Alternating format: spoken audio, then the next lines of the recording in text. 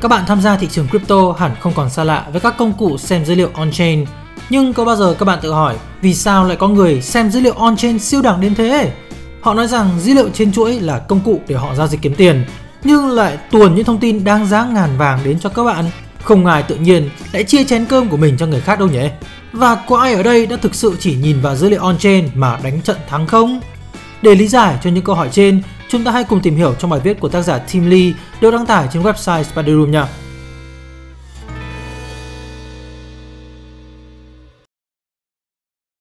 Trước hết, dữ liệu on-chain là cái gì? Dữ liệu on-chain là các thông tin và giao dịch được lưu trữ trực tiếp trên blockchain. Mỗi giao dịch trên blockchain sẽ được ghi lại trên các khối block và kết nối với các khối trước đó, tạo thành một chuỗi các khối liên kết blockchain. Các dữ liệu on-chain bao gồm các giao dịch, địa chỉ ví, số lượng tiền điện tử đã được chuyển đi hoặc nhận về, thời gian giao dịch, các mã hash, mã thông báo thông qua một chuỗi khối và các thông tin khác liên quan đến giao dịch trên blockchain. Để dễ hiểu, dữ liệu on-chain cho chúng ta biết được một coin hay một token có bao nhiêu ví nắm giữ, bao nhiêu token lock hay unlock, các địa chỉ ví nắm lượng thế nào, portfolio của những ví đó là cái gì. Giá trị của token bị thao túng như thế nào? Thực tế là việc thao túng thị trường tiền điện tử bởi các cá voi hay các whales. Tình huống này đã và đang xảy ra trong ngành công nghiệp này. Những con cá voi này sở hữu số lượng lớn các token và có khả năng tác động đến giá cả của chúng. Và việc thao túng giá token này cũng không có gì là lạ trong thị trường cryptocurrency. Các bạn mới tham gia đầu tư cũng đừng đặt kỳ vọng quá cao về loại công nghệ mà các người làm nền tảng đưa ra nhé. Vốn dĩ toàn thị trường gần giống như một sòng bạc nhưng ít có sự cơ cấu hơn thôi. Ngoài ra còn có các đội market makers, họ là một nhà đầu tư hoặc một tổ chức cung cấp thanh khoản cho thị trường bằng cách đặt lệnh mua và bán trên sàn giao dịch. Mục đích của market maker là tạo ra một thị trường thanh khoản và ổn định, cung cấp cho các nhà đầu tư một mức giá ổn định và tính linh hoạt cho các bên giao dịch mua và bán. Thường thì market maker sẽ đặt các lệnh mua và bán cho các cổ phiếu, token hoặc sản phẩm tài chính khác với giá cả hấp dẫn, tạo ra một sự chênh lệch giữa giá mua và giá bán hay là bid ask spread. Nếu có bất cứ nhà đầu tư nào muốn mua hoặc bán tại mức giá đó, market maker sẽ chấp nhận thực hiện một giao dịch với giá đó, tạo ra thanh khoản và giúp định giá của sản phẩm tài chính đó. Đôi khi thị trường có sóng thì họ cũng có thể dump pump giá token kiếm lợi nhuận. Whales có thể được xem như market makers nhưng các market makers chưa hẳn là các whales. Hai đối tượng này có liên quan đến giá token và dữ liệu on-chain. Phần lớn chúng ta trade trên CEX vì ở đó có nguồn thanh khoản dồi dào hơn, thuận tiện hơn trong việc mua bán nhiều lần tránh mất khoản phí ga, các whales và các market makers cũng như thế. Mọi lần giao dịch trên các sàn CEX đều không được ghi nhận trên blockchain. Trên sàn tập trung, các giao dịch được xử lý trong nội bộ của sàn và chỉ có thông tin về giao dịch được lưu trữ trên cơ sở dữ liệu của sàn. Thông tin này bao gồm các thông tin về giá cả, số lượng và thời điểm thực hiện giao dịch. Chỉ khi bạn rút về ví phi tập trung thì tài sản đó mới thực sự là của bạn. Lời thú nhận của một market maker Wallong là biệt danh của một trader người Sinh đã thừa nhận làm giá Dogecoin vào năm 2014. Anh này đã chia sẻ cả một quy trình làm giá và bơm xả đến khi thị trường kiệt quệ thanh khoản. Quy trình này vẫn được lưu truyền cho đến tận bây giờ và trở thành tiêu chuẩn cho tất cả các cuộc làm giá bài bản. Tuy nhiên, ở các nhóm dev Việt thì không, họ không thích sẵn xé con mồi, họ xả một lần luôn, có khi rock pull. Đa số mọi người đều nghĩ rằng thị trường lên xuống bất nguyên tắc và phản ánh sự hiểu biết của các nhà đầu tư, bàn tay vô hình hoàn toàn không tồn tại, nhưng giá thị trường luôn bị quản lý bởi bàn tay hữu hình của các market makers. Người trong cuộc thao túng thị trường làm giá để kiếm lợi nhuận. Thao túng diễn ra ở khắp nơi, không thể phủ nhận và cũng không thể tránh được. Hiện tượng này diễn ra ở tất cả các thị trường chứ không chỉ crypto mà còn có cả cổ phiếu, trái phiếu, hàng hóa, tiền tệ, vân vân có rất nhiều cách làm giá trên thị trường, ví dụ như cách thao túng cộng đồng và tin tức mà Wallon gọi là Game of Deception. Quá trình không chỉ đơn giản là bơm và xả như mọi người thường nghĩ, để một đợt bơm xả thành công có bao gồm nhiều giai đoạn. Chuẩn bị vị thế, rồi đến ép giá xuống, rồi đến bơm thử, rồi đến bơm thật, rồi đến rung lắc, rồi đến tái phân phối và cuối cùng mới là xả.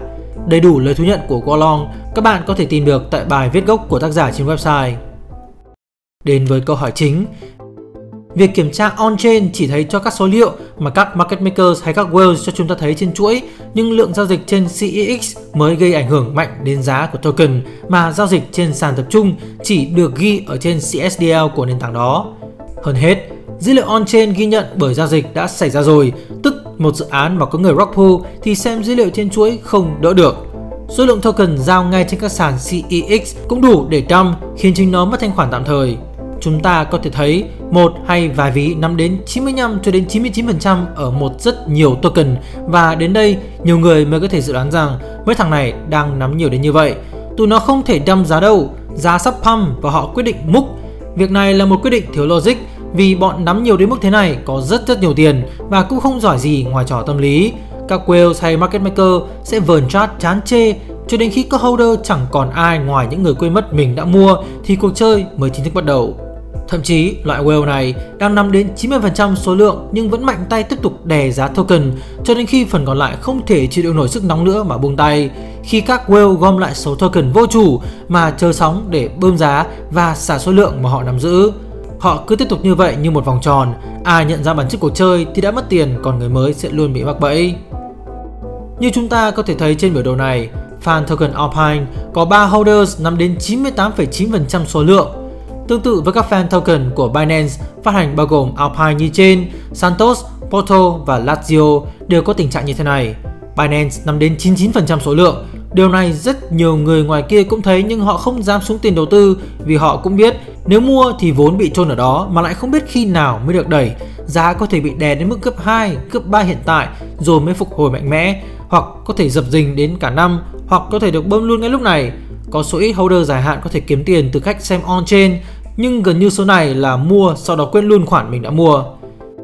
Bản chất của crypto là thị trường bị thao túng, các nhà tạo lập có cách moi tiền từ từ bạn mà dữ liệu on-chain vẫn đứng yên. Nếu có ai muốn ăn sổi từ việc xem dữ liệu on-chain thì mình khuyên các bạn nên cân nhắc kỹ trước khi xuống tiền nhá. Vì sao người mới lại nghĩ rằng on-chain là tôn chỉ trong thị trường cryptocurrency? Theo góc nhìn của mình, những người mới tham gia đầu tư trong thị trường này nghĩ rằng nếu có thể đọc và phân tích thông tin này một cách chính xác, có thể tìm ra những xu hướng và cơ hội đầu tư tiềm năng.